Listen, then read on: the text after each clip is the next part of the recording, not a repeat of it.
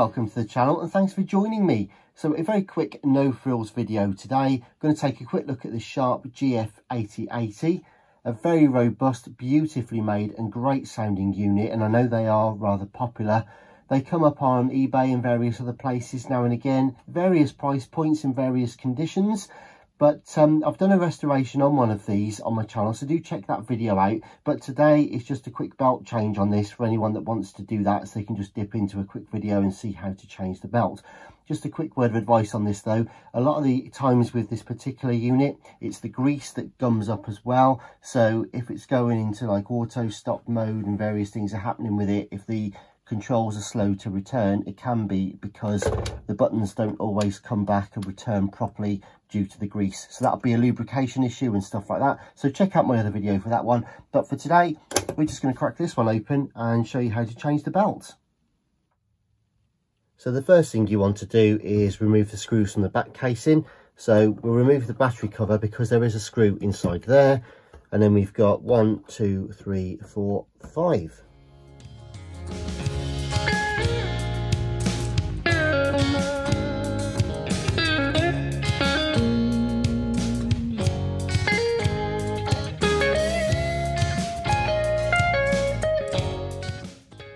Then we gently prise the back cover away. There are some connections to the board underneath. I'll show you those in a second.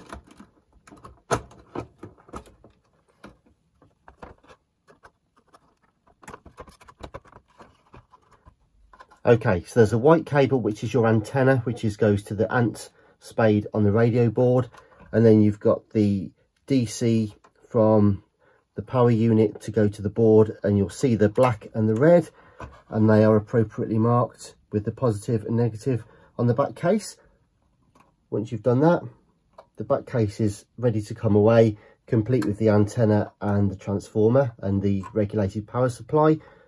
That leaves us with the board itself. There are a couple of things to do at this juncture now, including desoldering the two cables from the APSS light and also just unpicking and unscrewing the screws from the board to allow you to access the mech. So we'll get the screws out first. And you've got machine screw here with the washer. There's another one here on the corner.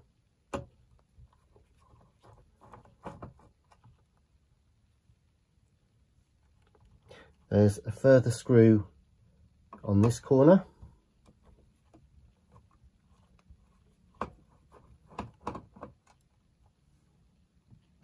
And the fourth one is actually holding the cable tie just here. Plus also we'll get the plastic ties away as well.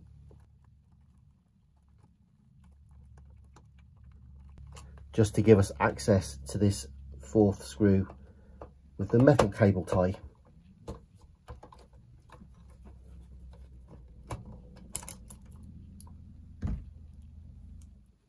You can actually remove different screws that take the mech and the board out in one piece which you might see in my other video. But today we're just going to have access to the underside of the board so we don't need to get the actual mechanism out.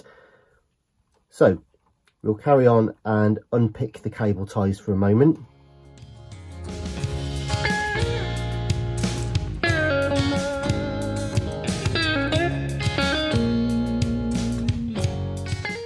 and that just gives us better access to the cables and starts to allow us to move everything away. Now you can see that the board itself is fairly happy now. It kind of wants to come loose, but it can't because these two cables here, these white ones, are actually the wires that go to the APSS light. So you may be able to thread them around, but in my experience, it's far easier just to desolder them, move those two out of the way, then we can peel the board back. So here are your two white cables and I always find it useful to put a colour reference on each of those just so that you know which one goes where. There is a third white lead here as well which you don't normally need to desolder and there may be a capacitor to unsolder as well on the bottom side but we'll come to that in a minute if we need to. It can be quite prudent to take photographs of the board at this stage as well, just to make sure you know where the cables go back or you could make a little color coded diagram like that just to give yourself a ready reckoner really as to where things go should you need to. Next then to desolder the cables.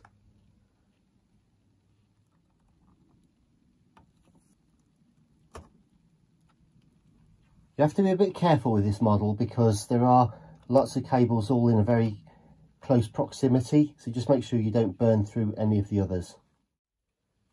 So we're nearly ready to remove the board now. There's just one capacitor to desolder.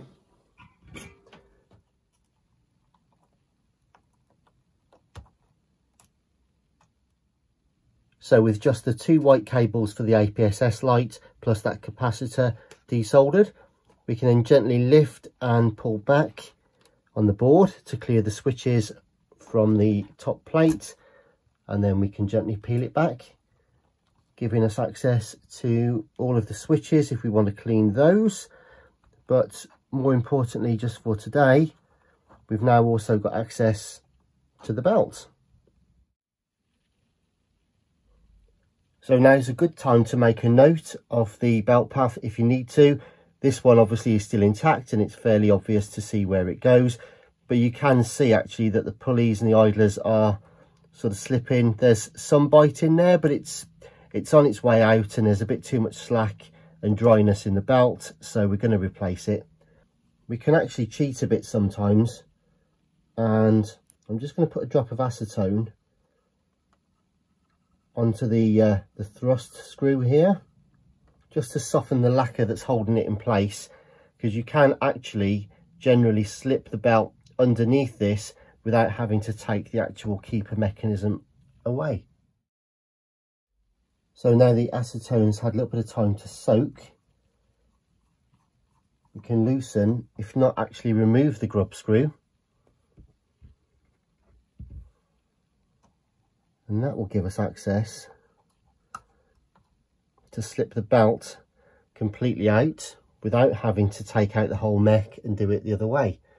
So there we go. In fact, you can really see how deformed this is now, where it's been around the pulleys.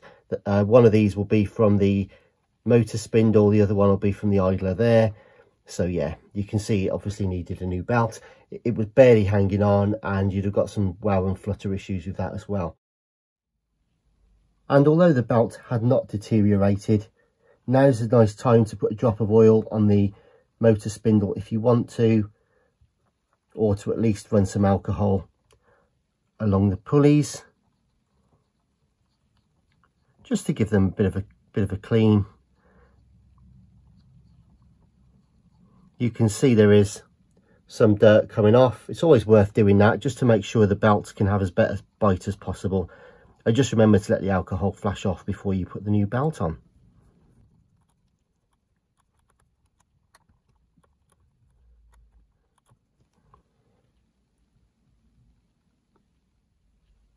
And whilst it's outside the scope of this video, I did notice that the idler rubber is a little bit dry looking.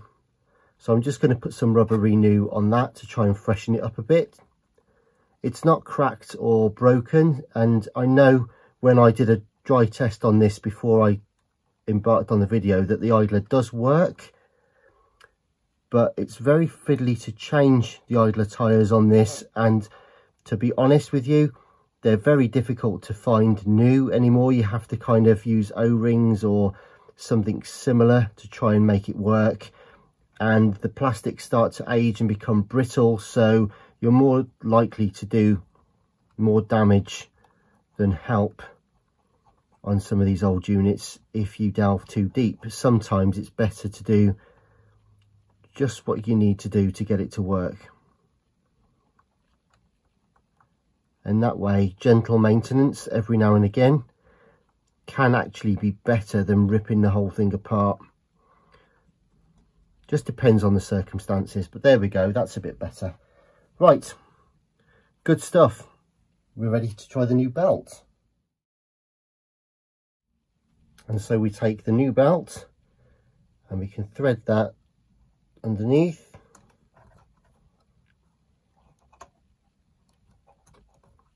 Like so. And we'll just let that get settled. Get the twists out of it. Lovely.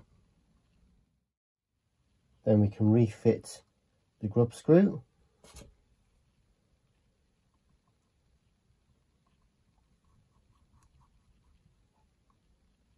Not all the way down. You want a fraction of a mil of free play in that.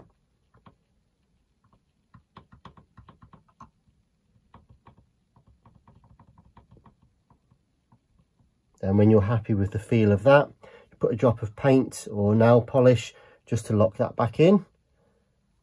And then reversal will be the opposite. So we'll fold this back over. Don't forget to re-solder your capacitor back on. Pop your two white wires back onto the board. Fix your four screws in. And then put the back cover on. Job's a good one. And as I say, I've covered it in the other video, but if you want to at this juncture, you can actually go in there and clean the leaf contact switch. You can also clean the erase, the erase switch on the board whilst you can get to it, etc, etc. But for now anyways, it's time to put it all back together again. So to that end, we basically have to keep the white cables out of the way, feed the switches through the holes on the faceplate and just make sure that the erase switch is sitting in the right place as well. There we go, and that's nested in properly. So we have the four screws to go back in.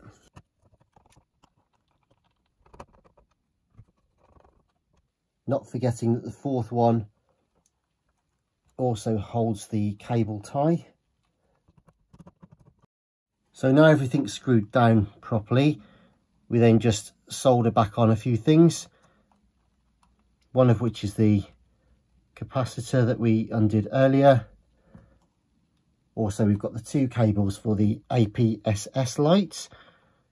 So we'll just drop a little bit of flux on those and we'll get those back on.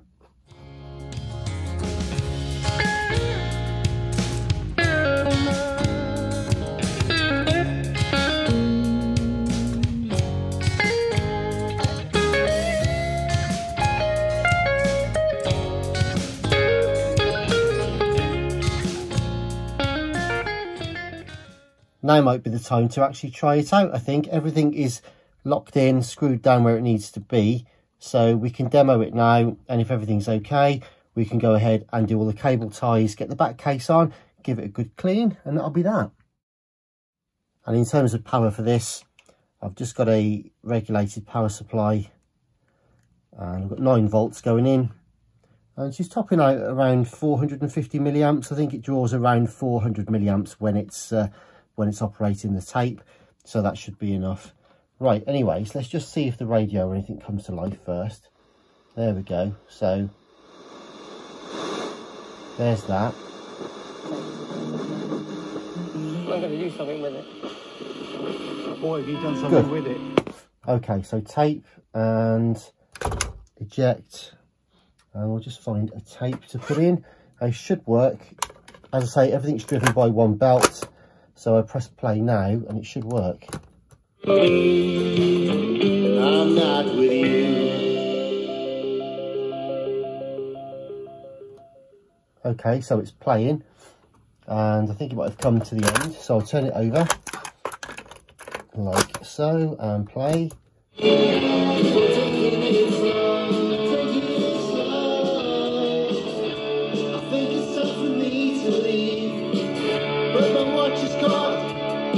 In your hand. It's not fair. And APSS, look at the light here. That's working. There we go. Let's find the next track. Good.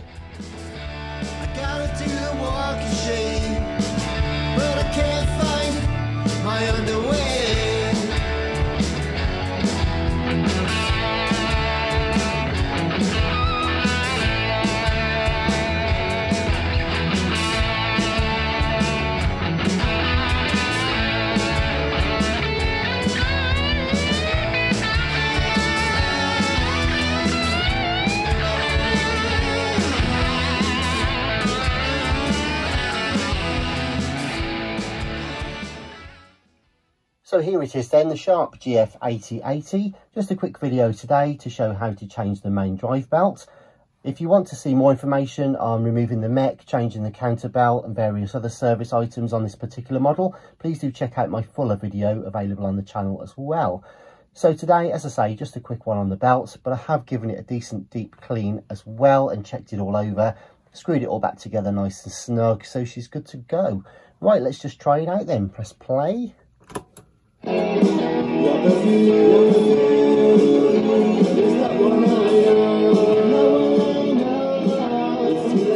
And we'll rewind it. We'll fast forward it first. And you can see the counter going. And stop, rewind. And again, nice and quiet, running beautifully. So, there she is. Marvellous. And we'll just try the APSS as well. So there we go. And what we've got there is the lights going on and it's found the start of the next song. And we're away. Brilliant. Yep, so really happy with that. That's a, a little job well done today. Not the easiest job in the world, but not the hardest either. I'd say this is probably an intermediate one. It's not one where you can just take the back cover off and there's the belt, like on a, a JVC RC250LB or something like that. But conversely, it's not one that you've got to actually strip the actual mechanism apart too much, like on a an RCM90 or something like that. So I'd say it's somewhere in the middle. I think we've got, what, half a dozen screws on the back case, then I think four screws and some cable ties and stuff and three wires to desolder or two wires and a capacitor to desolder to get the board away then we've got access to the mech so i guess it's kind of like a, a medium job for that but it's perfectly doable if you're methodical and careful. And also take lots of photos as you go and just keep an eye on what you're doing and it's not the massive massive job. So uh, anyway listen i hope you've enjoyed that. I hope you found it interesting and indeed useful if you need to do this on your own. So thanks very much for watching. Please do consider subscribing hit the notification bell for updates. We've got loads of stuff coming up with boomboxes, personal stereos, games, 8-track stuff, all that kind of thing. As always, thank you ever so much for watching. I really appreciate all your support and stay safe. I'll see you soon. Bye-bye.